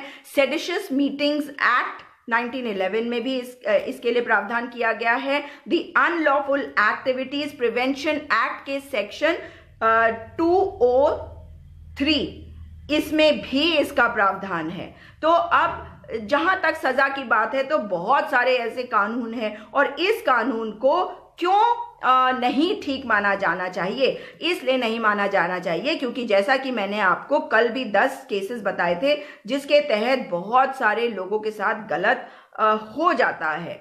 और बहुत सारे केसेस ऐसे हैं जो पॉलिटिकली uh, मोटिवेटेड होते हैं। मैं आपको बताऊँ मैंने एनसीआरबी के डेटा को निकाला है that is national crime records bureau और इसमें मैं आपको बता दूँ कि 2014 के पहले 2014 के पहले सेडिशन के कानून के तहत नौ लोगों को कस्टडी में लिया गया था या वे बेल पर थे और इन्वेस्टिगेशन चल रही थी उस वक्त। मगर 2014 के शुरुआत से यदि आप देखें 2014 के एंड तक तो आपको जानते हैं कि कितने कितने नए अरेस्ट हुए सेडिशन यानी कि 124 ए के तहत। 58 नए अरेस्ट हुए। ये मैं नेशनल क्राइम रिकॉर्ड्स ब्यूरो का डेटा बता रही हूँ, मैं अपनी तरफ़ से कुछ नहीं कह रही हूँ। और देखिए कि आपको पता ही है कि 2016 के एक इवेंट में जवाहरलाल नेहरू यूनिवर्सिटी में स्टूडेंट्स के ऊपर भी ये ये धारा लगाई गई। तो Jawaharlal Nehru university students union के जो प्रेसिडेंट हैं थे उस वक्त, कन्हैया कुमार और नौ अन्य के खिलाफ भी ये ये धारा लगाई गई। और आप देखिए जो 1200 पेज का सेडिशन वाला चार्जशीट भी दाखिल किया गया है कोर्ट में। अब ये मामला तो पेंडिंग है, आप भी जानते हैं। परंतु मैं आपको ये बता दूँ कि ये जो मैंने आपको बताया ना कि 2014 से 2014 शुरू से 2014 के एंड तक 58 अरेस्ट हुए थे। और आपको ये भी बता दूँ कि इसमें चार्जशीट जो है, वो केवल 16 या 19 के विरुद्ध ही हुआ था 16 से 19 के बीच में। और इसमें सिर्फ़ मतलब आप ये सोचिए कि आप करीबन 60 लोगों को अक्यूज कर दे रहे हैं और 15-16 लोगों के ऊपर आप ये चार्जशीट भी कर रहे हैं और आप जानते हैं कि हमारी पुलिस का क्या हाल है तो कितने उसमें सही केसेस हैं, कितने पॉलिटिकली मोटिवेटेड होंगे, ये भी आप बेहतर तरीके से जानते हैं। देखिए, जहाँ तक सेना सेना भी कोर्ट्स जो मिलिट्री कोर्ट्स है, वो भी अपने तरीके से सेडिशन के चार्जेस लगा के वो करती है, उनका प्रोसीजर अलग है। खैर, अब मैं आपको बता दूँ कि ये जो 16 केसेस हुए 58 में से 16 में चार्जशीट हुई तो यानी कि बाकियों को हैरस करने के लिए किया गया पॉलिटिकली मोटिवेटेड थे, इसमें से दो जो है कन्विक्ट हुए और उसमें भी तो प्रोसीजर आगे चलेगा। अब उसमें वो कन्विक्ट हुए दो। तो डेटा क्या बताती है एनसीआरबी की? दो डेटा बताती है नेशनल क्राइम रिकॉर्ड्स ब्यूरो की। वे बताता है कि 18 में से केवल दो का कन्विक्शन हुआ 2014 से 2016 के बीच में। मगर, और जो 18 का केस गया, उसमें से दो कन्विक्ट हुए, और जो बाकी थे, उनके बारे में भी सुन लीजिए कि वे या तो डिस्चार्ज हो गए, और या वो अक्विट हो गया अक्विट का मतलब है कि उनके ऊपर चार्ज प्रूव नहीं हुआ, कि मतलब उन्होंने नहीं किया। और जो डिस्चार्ज हो गए मतलब ये मान लिया गया कि इनके ऊपर तो चार्ज ही नहीं लगा गया। अब आप मुझे बताइए कि ये क्या है? मतलब कोर्ट का कोर्ट में आप जाइए कोर्ट में वैसे ही किसी के पास वक्त नहीं होता। केसेस इतने पेंडिंग है। ऊपर से ये 124 ए की धारा लग, लगा के पॉलिटिकली मोटिवेटेड केसेस बना दिए जाते हैं जिसमें कन्विक्शन का रेट कितना घटिया है, कितना नीचे है। अब आपको मैं बता रही हूँ, मेरे पास केवल और केवल 2014 से 2016 का डेटा है, जो नेशनल क्राइम रिकॉर्ड्स ब्यूरो ने साझा किया। इसके बाद का ज़्यादा कुछ मुझे मिला नहीं है, थोड़ा बहुत जो मिला वो मैं आपको बताती हूँ। आपको पता है कितने अरेस्ट हुए? 2014 से 2016 के बीच में 179 पीपल वर अरेस्टेड 179 180 से एक का अरेस्ट हुए।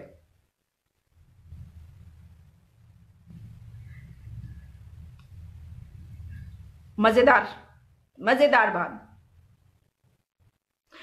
जहाँ तक बात है, ये 179 लोग अरेस्ट हुए और ये केसेस केसेस जो है, किसी ने तो रजिस्टर करवाई होगी ना एफआईआर अब आप देखिए 2016 के एंड तक चार्ज पुलिस द्वारा चार्जशीट जो है वो 80 परसेंट से ज़्यादा केसेस में चार्जशीट फ़ाइल नहीं करी गई और चार्जशीट फ़ाइल करने का भी एक ड्यूरेशन होता है। आप सुन ही रहे होंगे आजकल कन्हैया कुमार वाले मैटर में कि बार बार कोर्ट कह रही है कि भाई, इसमें आप क्यों नहीं ला रहे हैं? खैर तो इसका मतलब ये है कि 80 परसेंट से ज़्यादा अगर मैटर्स जो हैं, उनमें चार्जशीट फ़ाइल नहीं हुई तो इसका मतलब है कि पुलिस भी इस बात को मानती है कि ये पोलिटिकली मोटिवेटेड है, ये झूठे मैटर्स है जो लोगों ने फ़ाइल किए। इसीलिए मुझे लगता है कि हमारे देश में पर्जरी यानी कि झूठ बोलने पर केस फ़ाइल करना किसी के ऊपर भी, क्योंकि हमारे यहाँ सिर्फ़ हैरेसमेंट के लिए होते हैं केसेस और इसलिए पर्जरी जो है, उसको भी ठीक से देखा जाना चाहिए। पर कोई भी, शायद जज ये नहीं कहना चाहते कि भाई मेरे मेरे ऑर्डर को कोई मानता नहीं है या किसी ने झूठा केस कर दिया। अब सोचिए, अगर पर्जरी के केसेस हो गए तो कितने केसेस हो जाएँगे? खैर, ये बात अलग है। अब आपको कोर्ट्स में बता दूँ। मैंने आपको क्या बताया? अस्सी प्रतिशत जो है, वो उसमें चार्जशीट नहीं हुआ। तो बाकी बचे ट्वेंटी परसेंट उसमें चार्जशीट हुआ। अब कोर्ट के अंदर ट्रायल पे पहुँचे हुए ये केसेस में से 90 परसेंट से ज़्यादा सेडिशन वाले केसेस अभी भी पेंडिंग है। देखिए, कुछ मैटर्स ऐसे होते हैं जो टेररिस्ट एक्ट से संबंधित होते हैं, वो तो वहाँ तक तो ठीक है, मगर जो पॉलिटिकली मोटिवेटेड होते हैं, कम से कम हमें उसके बारे में तो सोचना चाहिए ना कि ना हो। आपको बताऊँ कि कोर्ट्स में जो पेंडिंग केसेस है, मैं आपको बता रही हूँ 29 सेडिशन एक्यूज जो है, जो 2014 में ट्रायल पे लाए गए और इसमें जो ट्रायल कंप्लीट हुआ सिर्फ़ चार के मैटर्स में हुआ। और पेंडेंसी कितनी हो गई? 77 परसेंट हो गई। और डेटा बताता है कि जिस, जो ये चार एक्यूज थे ना, इनमें से जो तीन है ये अक्विट हो गए मतलब छूट भी गए। और 2015 में आपको बता दूँ कि 73 अरेस्ट हुए। कितने? 73 अरेस्ट हुए। और इसमें जो पिछला वाला, वो 2014 का मिला के मैंने आपको बताया ही है कि ये बढ़ गया। और ये बढ़ता ही चला जा रहा है और पुलिस जो है इन्वेस्टिगेशन कंप्लीट नहीं कर पा रही है। तो आप मुझे बताइए कि ऐसे लॉ की क्या, का क्या फ़ायदा है? ऐसे लॉ की ना तो आवश्यकता है, ना ज़रूरत है। इसलिए ये देखने की आवश्यकता है कि इसको हटाया जाए। और आप देखिए, मज़ेदार चीज़ कितनी है ना? जब अपने आप बोला, हम ये करेंगे। आजकल चुनावी मौसम में आपने देखा है, आजकल केवल कांग्रेस के मैनिफेस्टो को टारगेट कर रहे हैं। कल वो इंटरव्यू ज़रूर देख लीजिएगा। वही प्रधान सेवक की, वही जो आज़ाद भारत में पैदा हुए उन्हें आज़ादी का मतलब पता नहीं, वो तो बस आज़ाद भारत में पैदा हो गए, बस, और कुछ नहीं हुआ। कहते हैं, बहुत अजीब अजीब बातें करते हैं। मुझे देश का ऐसा प्रधानमंत्री चाहिए जिसके अंदर प्यार, भाईचारा हो, जो लोगों को साथ लेके चलना चाहता हो, जो लोगों को समझता हो, जो मैं आए मी सेल्फ मुझे, मेरा, मुझमें, मेरे अंदर, मुझे ऐसा व्यक्ति नहीं चाहिए। मैं आपको एक बार बताऊँ, यदि कुछ कमी भी दिखे ना मुझे एक व्यक्ति में और दूसरी तरफ़ इस तरह का एक घमंडी आदमी हो, मुझे वो दूसरा आदमी बेहतर लगेगा। जो देश को बांट रहा हो, मुझे ऐसा व्यक्ति नहीं चाहिए अपने देश का प्रधानमंत्री बनाने के लिए। देखिए, भाजपा मुझे लगता है एक तो चाटुकारिता में आजकल एक्सपर्ट हो रखी है, दूसरी इनकी ट्रोल आर्मी बेहतर है। दोस्तों, मैं आपको एक बात कहना चाहती हूँ, मैंने वो पोल के लिए एक पोस्ट डाली है कि आप किसको देखना चाहते हैं as prime minister of the country Rahul Gandhi या मोदी जी? तो उस पर ज़रूर वोट करिएगा, अधिक से अधिक वोट करवाइएगा, क्योंकि भाजपा वाले बिल्कुल घुसपैठ कर गए हैं। मुझे भी आजकल बहुत सारे ऐसे मैसेजेस आते हैं, ऐसे फ्रेंड रिक्वेस्ट आते हैं, जिसमें एक तस्वीर होती है प्रोफ़ाइल पिक्चर पे और सामने एक वो मोदी जी की तस्वीर होती है। भाई, ऐसे वाले बहुत आ रहे हैं। इसलिए आप सबसे मैं रिक्वेस्ट कर रही हूँ कि आप हर हालत में ज़रूर इसमें वोटिंग करवाइएगा। तो आ, मुझे एक बात बताइए कि ये क्या पॉजिटिव वोट है? यदि आप केवल ये सोचते हैं कि किस प्रकार से आप दूसरे के मैनिफेस्टो को बताएँ कि कितना बेकार मैनिफेस्टो बनाया? तो ठीक है ना उन्होंने बनाया तुमने नहीं बनाया। अपने मैनिफेस्टो की बात करो। अपना बताओ ना कि क्या करने जा रहे हो। ये बता रहे हो कि अरे इन्होंने कितना बेकार मैनिफेस्टो बनाया। ये क्या बातें कर रहे हैं? इनको पता नहीं है क्या बातें करनी है। इनके पास तो दिमाग नहीं है, इनके अंदर परिपक्वता नहीं है, इनके अंदर मेच्योरिटी नहीं है। अरे भाई तो तुम्हारे अंदर मेच्योरिटी है तो तुम अपने बारे में बात करो। अपनी बात बताओ कि तुम क्या करने जा रहे हो। ये क्या बात हुई कि उसने ये कहा? वो ये कह रहा ये कैसे कह सकता? ये कैसे कर सकता? अरे तो आपने भी तो ऐसा ही किया भाई। आपने क्या किया? आपने तो ऐसे ऐसे वादे किया हमें लगा, हमारी तो आँखें ऐसी हो गई थी भाई। फटी की फटी। ऐसा लग रहा था ये जो कह रहे हैं ये तो करेंगे। और आपको बताऊँ अभी मैंने आ, कल किसी की बातों में सुना था कहते हुए हेलीकॉप्टर बना दें कल नहीं परसों हेलीकॉप्टर बना दूँगा इसका। तो मुझे मतलब ऐसा लगता है हमारा भी हेलीकॉप्टर बन गया हम तो सब हेलीकॉप्टर बन के उड़ गए। और इन्होंने हमारा क्या किया? हमें ऐसा बेकूफ बनाया है भाई। ऐसा बेवकूफ़ बनाया कि अभी तक हम गोल चक्कर खा रहे हैं कि अरे कौन सा अरे आ, मतलब हमारे देश में जो है आतंकवाद खत्म हो जाएगा हमारे देश से गरीबी हट जाएगी राम मंदिर बन जाएगा 370 धारा हट जाएगी और पाकिस्तान का पता नहीं क्या हो जाएगा और देश जो है पता नहीं कहाँ से कहाँ पहुँच जाएगा हम कितने सशक्त हो जाएँगे हम तो पता नहीं कौन से वाले राक्षस बन जाएँगे और क्या हो जाएगा दुनिया हमसे डरेगी। अभी ये, अरे, आप लोग एक और सुन लो। अभी आप सुनोगे इसके बारे में भी। आप पता नहीं आपने सुना है या नहीं सुना है ये जो अभी हमारे प्रधान सेवक जी को एक वो मिल रहा है। दो बारे में, दो चीज़ों के बारे में बात करके आपके मैसेजेस लेती हूँ। ये जो, क्या नाम है इसका? यूएई वहाँ से कुछ अवार्ड मिल रहा है ना इन्हें? अब आपको ये बता दूँ कि जब आप इस अवार्ड के बारे में सुने तो इनकी बातों में मत चले जाइएगा। ये हमारे को ऐसा बेवकूफ़ बना रहे हैं भाई, कि मतलब हद्दी का रखी है इन्होंने, है? अरे एक्सप्रेशन की बात कर रहे हैं? मैं तो आँखें फटी की फटी रह गई हैं हैं? अच्छा तो ये जो है, इन्होंने, आपको याद है क्रिश्चियन मिशेल्स जो बोफोज वाला ऑगस्टा वेस्टलैंड वाला मैटर है?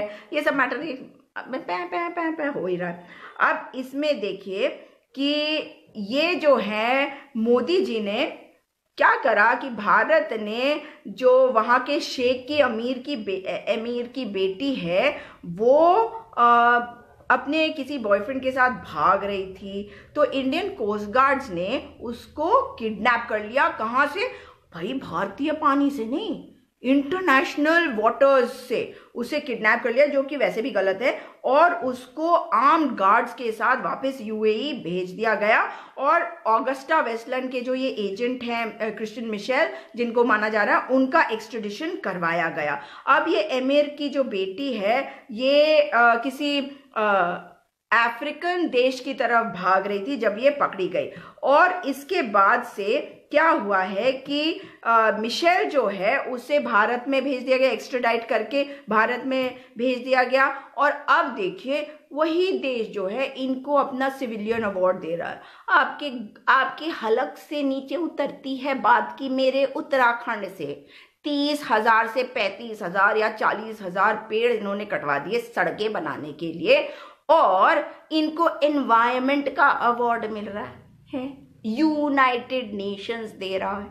कुछ समझ में आता है आपको? मुझे तो समझ ही में नहीं आ रहा कि देश में हो क्या रहा है। खैर तो ये तो एक बात हो गई। अब मैं आपको एक दूसरी बात भी बताना चाहती हूँ। मैं, आपको याद होगा, मैं बहुत दिनों से नमो टीवी के बारे में बात कर रही हूँ। बहुत दिनों से तीन चार पाँच दिन से, जब से मैंने उस एड को मतलब उस टीवी को देखा हल्का सा। आप मुझे एक चीज़ बताइए आपको पता है, सूचना और प्रसारण मंत्रालय ने कहा है कि जो नमो टीवी है, वो एडवर्टाइजमेंट एडवर्टाइजमेंट के लिए एक प्लेटफॉर्म है केवल और इसलिए उनको लाइसेंस की आवश्यकता नहीं है। क्योंकि इलेक्शन कमीशन को कंप्लेन गई थी तो उन्होंने सवाल पूछा था। तो तो सूचना और प्रसारण मंत्रालय का कहना है कि यह एडवर्टीजमेंट का प्लेटफॉर्म है, इसलिए इनको कोई लाइसेंस की ज़रूरत नहीं है। इसका मतलब है कि जो लोग एडवर्टीजमेंट कर रहे हैं, उसमें दे रहे हैं, वे खुद ही उस मोदी जी के उस एडवर्टीजमेंट का जो वो बिल है, उसको खुद ही भरेंगे। यही तो मतलब हुआ।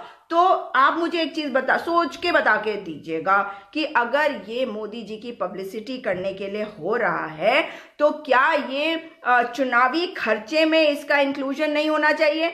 क्या इस पर कोई सीलिंग नहीं होनी चाहिए? क्या ये नहीं होना चाहिए, भाई, इतना ही पैसा ये खर्च कर सकते हैं? या ये कुछ भी खर्च कर सकते हैं? मतलब कमाल है। मतलब कमाल ही हो रखा है भाई, यहाँ पे तो। कुछ समझ में नहीं आ रहा क्या हो रहा वैसे हमारे देश में इस वक्त क्या हो रहा है? कुछ पता नहीं चल रहा। जी, उदय यादव जी लिख रहे हैं, अच्छी रिसर्च है आपकी। जी, बिल्कुल रिसर्च करे बिना तो करने का कोई काम ही नहीं है। अब आपके मैसेजेस ले लेती हूँ। आज थोड़ी सी देर हो गई थी मुझे। आजकल बाहर लगी हुई हूँ, लोगों से बात कर रही हूँ, देख रही हूँ कि लोगों को समझा सकें। आप मेरे वीडियो को शेयर करना मत भूलियो भूलिएगा यू नो फ्रेंड्स और दूसरी चीज़ ये कि आ, वो जो पोल है उसमें वोटिंग ज़रूर करवाइएगा ठीक है? क्योंकि ये भाजपा ही जो है ना बहुत कूदने लगता है कि नहीं नहीं और कांग्रेस ही क्या होता है कहते हैं नहीं नहीं कोई बात नहीं नहीं किया कोई बात नहीं। इन सबसे क्या होता है? मगर भाजपाइयों का जो वो है ना मेंटल लेवल उसमें क्या होता है वो ना खाली अफेक्टेड होता है वो माइंड गेम खेलता। देखो इतने वोट पड़े इतने। इसलिए अपने मित्रों से अवश्य कहिएगा कि वे वोट डालें। जी रिजवान मियाँ जी कह रहे हैं सभी भाइयों से दरख्वास्त है कि वीडियो को शेयर करें। धन्यवाद। बिल्कुल जी आपने बहुत बढ़िया बात करी है। आ, अनिल मैसी जी लिख रहे हैं आप अपने साथ साहित्यकारों बुद्धिजीवियों कवियों को भी जोड़िए। प्लीज़ और जागरूकता आएगी। बिल्कुल मैं उन सबसे बात करती रहती हूँ। क्या है कि बहुत सारे लोग आ, मतलब ना रिकॉर्ड नहीं चाहते कि रिकॉर्ड हो जाए पर ज़्यादा लोग जो है इस बात को समझ रहे हैं कि कहाँ पे क्या गड़बड़ हो रही है। जी कौसर अली सिद्दीकी जी ने लिखा है राइट मैम वामसी कृष्णा जी ने लिखा है और बैरिकेडिंग गिर गई थी वायनाड में बिल्कुल। और वो आ, क्योंकि गिर गई थी इसीलिए उन लोगों को चोट लगी थी। खैर ये तो कोई भी नेता हो उसे करना चाहिए। और मैं मुझे लगता है कि अगर प्रधान सेवक जी हो तो वो भी करेंगे। करेंगे या नहीं करेंगे? सोचिएगा।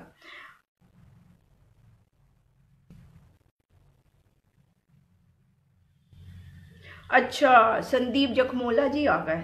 सुन लीजिए। कल ऑगस्टा वेस्टलैंड पर ईडी अदालत में आरोप पत्र दाखिल करने जा रही है और मिशेल ने लिखित बताया है कि कोई इटली वाली महिला बीच में बिचौलिया थी। कल सुबह। इंटरव्यू देख लेते। क्या कुछ भी है? आजकल इलेक्शन सीज़न है, कुछ भी आ जाता है। कोई बात नहीं, आने दीजिए। जी एनर्जी मैंने आपको बताया, फ़हीम अहमद जी, आप लोगों की वजह से आती है, आप लोग सुनने को तैयार बैठे रहते हैं। तभी तो मैं बात कर सकती हूँ, वरना अपने से थोड़ी बात करता है कोई। जी Ujala LPG for BPL connection scheme was a nice step towards BJP yes और नो ये तो मैंने आप दो वीडियोस अभी तक डाल चुकी हूँ जिसमें दोनों ही लोगों ने कहा है कि उज्ज्वला योजना किसी काम की नहीं है। एक ने तो कहा कि उज्ज्वला कनेक्शन मिलेगा कहाँ से? वो तो अमीरों के लिए है। दूसरे ने कहा कि आ, बैंक में आ, मतलब वो जो कागज़ होते हैं इसके लिए वो कागज़ चाहिए वो कागज़ चाहिए। जब आईडी नहीं होगी जब वो आपकी आईडी के के बिना आप जाएँगे तो वो आपको कोई गैस कनेक्शन देते नहीं है। श्याम सुंदर पांडे जी, तेईस मई के बाद कांग्रेसी ईवीएम मशीन का रोना तो नहीं रोएँगे। देखिए देखते हैं कि क्या होता है, मगर 50 परसेंट वीवीपैट का मिलान होना चाहिए। और क्या क्या दिक्कत क्या है आपकी सरकार को, आपके मोदी जी को क्या दिक्कत है? अगर ईवीएम के बजाय बैलेट पेपर इस्तेमाल हो अरे, एक बार को इनको थप्पड़ ही लगा देते हम सबको। और कहते कि लो जी, जाओ, कर लो, इससे चेक और देख लो कि ईवीएम से मुझे कोई फ़र्क नहीं पड़ता। मेरे तो भक्त ऐसे हैं जो मुझे वोट देंगे ही देंगे। इस सरकार ने इसका मिसयूज किया है, वही तो लेकिन इनकी समझ में नहीं आता, मगर कोई बात नहीं। कोई कुछ भी कर ले पीएम राहुल गांधी राहुल गांधी ओनली और सब चोर बीजेपी। गुड्डू जी लिख रहे हैं। जी। अंसारी जी लिख रहे हैं, राहुल गांधी जिंदाबाद, कांग्रेस पार्टी जिंदाबाद। जी उज्ज्वला योजना के बारे में जिदीन अहमद जी, आपने पूछा है, मैंने आपको बताया कि मैं लोगों से बातचीत कर रही हूँ, उससे यही पता चल रहा है कि कोई इससे खुश नहीं है। और आप मुझे एक बात बताइए कि आपको अगर मुफ़्त में सिलेंडर का कनेक्शन मिल भी गया तो खरीदने कौन जाएगा? पैसे कौन देगा? हज़ार रुपए का सिलेंडर हो गया है। आप मुझे बताइए, कांग्रेस के ज़माने में 400 का जो सिलेंडर था, आज वो हज़ार रुपए का सिलेंडर यदि मिल रहा है तो आप कैसे खरीदेंगे? आप गरीबों से क्या ये उम्मीद लगाते हैं कि उनको आप इन्हें एक सिलेंडर दे दिया, उसका रिफिल करने के लिए हर महीने में हज़ार रुपए देंगे? इज़ इट पॉसिबल रियली आप देखिए कि किस प्रकार से बातें हो रही है। यदि आप बहत्तर हज़ार योजना की योजना के बारे में भी बात करें, जो राहुल गांधी अपने मैनिफेस्टो में लाए हैं कांग्रेस की तो ये बात तो पक्की है कि भाजपा एकदम जंप कर रही है, एकदम ना मतलब रैबिट्स स्टाइल में जंपिंग हो रही है। तो इसका मतलब है वो भी जानते हैं कि लोगों ये बात पे कोई किसी ने सवाल नहीं उठाया कि बारह हज़ार जो है वो मिनिमम इनकम होनी चाहिए किसी भी परिवार की। नहीं उठाया ना। भाजपा वालों ने भी नहीं उठाया। तो इसका मतलब ये तो ठीक बात है।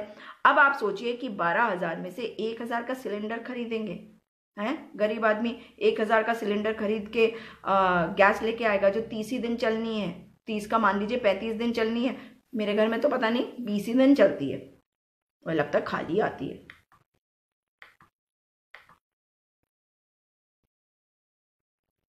जी अगर इससे कोई देश के विरुद्ध कुछ गलत हो, आ, किया हो तो ही देशद्रोह होता है बिल्कुल। सरकार के विरुद्ध आवाज़ उठाना बिल्कुल देशद्रोह नहीं होता है और ये लोग चाहते हैं कि हम आ, ए, मतलब सरकार के विरुद्ध बोले ना। आप देख लीजिए भाजपा कैसे कूद कूद के पढ़ते हैं कि नहीं नहीं आप इनके बारे में ऐसे आज भाई हाँ भाई जखमोला जी आपसे बात कर रही हूँ।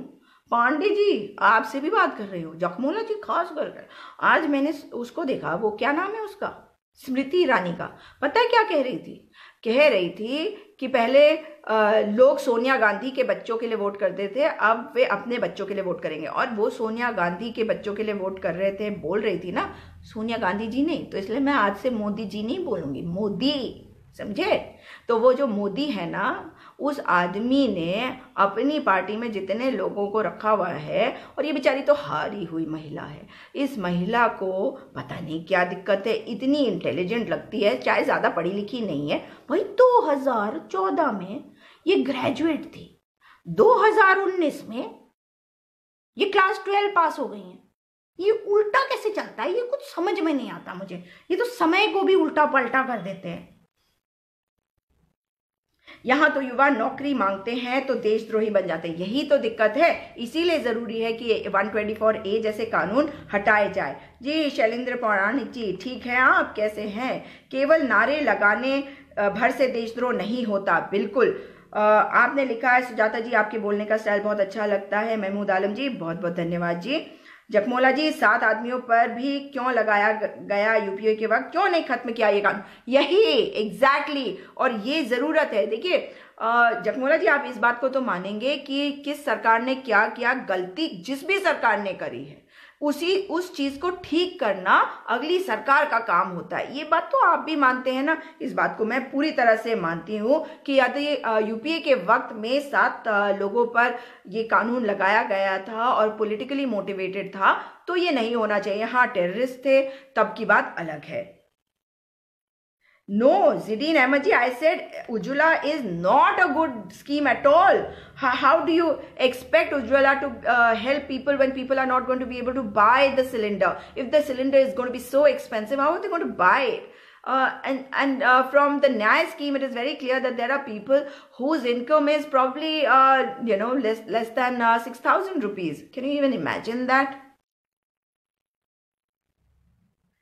जगमोला जी इधर उधर की कहाँ करी? आपकी बात का जवाब दिया, आपको शायद समझ में नहीं आया। पूछ लीजिए फिर से, बता देती हूँ फिर से, यही हूँ। बाद में भी पोस्ट कर दीजिएगा तो भी कल जवाब दूँगी। जी, नेहा वर्मा लिख रही हैं ग्रेट थिंग थैंक यू नहीं, उज्ज्वला नहीं अच्छी स्कीम नहीं है, बिल्कुल अच्छी स्कीम नहीं है। अनभक्त नहीं समझेंगे मैम इनको हिंदू मुस्लिम। अरे भाई, कुछ भी बोलो, ये कहते हैं, हिंदू मुस्लिम। कुछ भी बोलो, पाकिस्तान। कुछ भी बोलो, पाकिस्तान। कुछ भी बोलो राष्ट्रवाद। अरे। कुछ भी मतलब इनका तो काम ही है। इनकलाब जिंदाबाद। लिख रहे हैं Saurabh Lakhra ji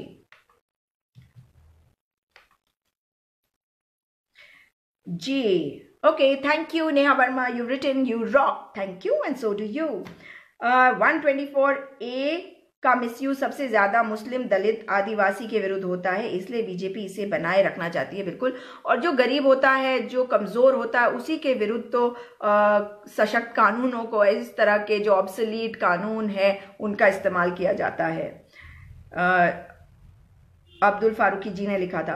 फिरोज जी ने लिखा है, दीदी यू आर राइट धन्यवाद, आपको अगर लगता है और मैं आपकी भी प्रतिक्रिया चाहती हूँ आप मेरी बात से सहमत है अधिक से अधिक लोगों के साथ मेरी वीडियो को शेयर करिएगा और अधिक से अधिक लोगों से पोलिंग पोल जो आ, मैंने पोस्ट डाली है उसमें वोटिंग करवाइएगा। नाइन्टी परसेंट लोगों ने दोबारा सिलेंडर फिल ही नहीं करवाया। कैसे करवाएँगे? इतना महँगा सिलेंडर बताइए ना हज़ार रुपए का। दिक्कत होती है भाई हज़ार रुपए का सिलेंडर कितना महँगा पड़ता है। मुकेश गुप्ता जी लिख रहे हैं good thank you Vamsi Krishna ji लिख रहे हैं बिल्कुल सही कह रही हो आप। धन्यवाद, Neha Verma you are right I am glad you agree with me Suresh Chandra SP लिख रहे हैं, इसका मतलब समझ में नहीं आया। समाजवादी पार्टी लिख रहे होंगे। कृष्णा जी हंस रहे हैं किसी पर। उदय यादव जी ज़बरदस्त कह रहे हैं। गजब एक्सप्रेस आई लाइक इट जय हो जय हो। नेहा वर्मा जी लिख रही कभी नहीं। तुसी ग्रेट हो, तुसी भी ग्रेट हो जी। अच्छी रिसर्च है आपकी। रिसर्च के बिना तो आ नहीं सकते भाई, पकड़े जाएँगे तो हो जाएगा। फिर वैसा ही हो जाएगा? A plus B whole square is equal to A square plus two A B plus B square में two A B is extra कहीं सुना है? इक्वल टू बोल रहे हैं और फिर कह रहे टू ए बी एक्स्ट्रा है। वो तो कैसा प्रधानमंत्री बना दिया? भाई इतना इतना तो आता ही है कि इक्वल टू का मतलब क्या है? खैर, नमस्कार, अमन सिंह। बहुत देर में देखा, आज मैंने आपको पूरा नहीं देखा आपने। अब्दुल मुजीब ने पोल का लिंक मैं पोल का लिंक अभी इस पे, इसी इसी थ्रेड पे डाल दूँगी। My best friend you are right ma'am Mahendra ji लिख रहे हैं धन्यवाद नमस्कार रिजवान जी हमने यूपी में तो बीजेपी का दिवाला निकाल दिया है पचास सीटें कम हो रही हैं इनकी इनकी सीटें कम करने की ज़रूरत है भाई आपकी आवाज़ जन जन की आवाज़ है, मैम, रिजवान जी लिख रहे हैं। बिल्कुल, मैं आपकी बातों को रखना चाहती हूँ, मैं चाहती हूँ कि अधिक से अधिक लोग आपकी आवाज़ को सुने, आपकी बातों को सुने।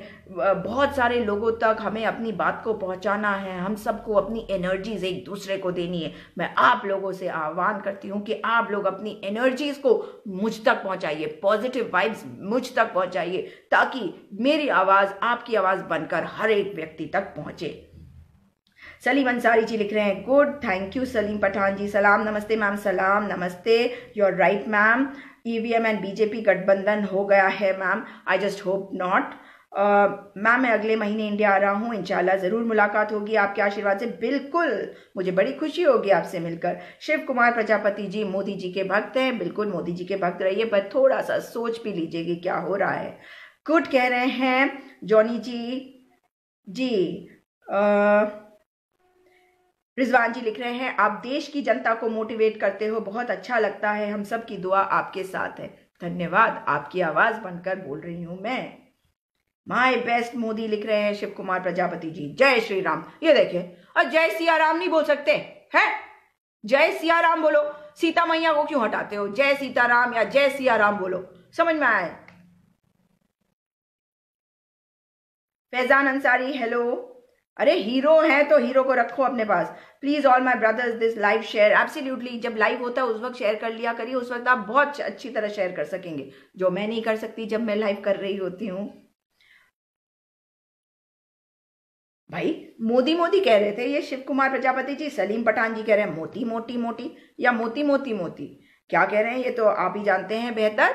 खैर, मित्रों, बहुत लंबी वार्तालाप हो गई, जबकि आज मुझे लग रहा था कि पूरा दिन बाहर रहने के बाद आज शायद ज़्यादा देर तक बातचीत ना हो पाएगी। परंतु हो गई है बातचीत, इसलिए अब आपसे रिक्वेस्ट कर रही हूँ कि आप लोग अवश्य मेरी वीडियो को अधिक से अधिक शेयर करिए, लोगों को जागरूक करिए, लोगों को बताइए कि जो हमें दिखाया जा रहा है वो सही नहीं है। एक सौ चौबीस ए के कानून के बारे में बताइए। आपको पता है आफ्सपा के बारे में भी बात करूँगी कि नॉर्थ ईस्टर्न स्टेट से किसने इसको हटाने की, हटाने का काम किया भाजपा ने। और जब कांग्रेस कह रही है कि कश्मीर से भी हम कम करेंगे, सेना को सीआरपीएफ को और आसपा को थोड़ा सा मॉडिफाई करेंगे या जो भी करना चाह रहे हैं वो उस वक्त करेंगे, तब इनको दिक्कत हो रही भाई। खैर, अब इनकी दिक्कतों के बारे में क्या बात करें, बाद में बात करेंगे उसके। और कल बात करूँगी आपसे, कल देखते हैं कि ये इंटरव्यू पहले दिखाएँगे, इस इंटरव्यू का विश्लेषण करेंगे।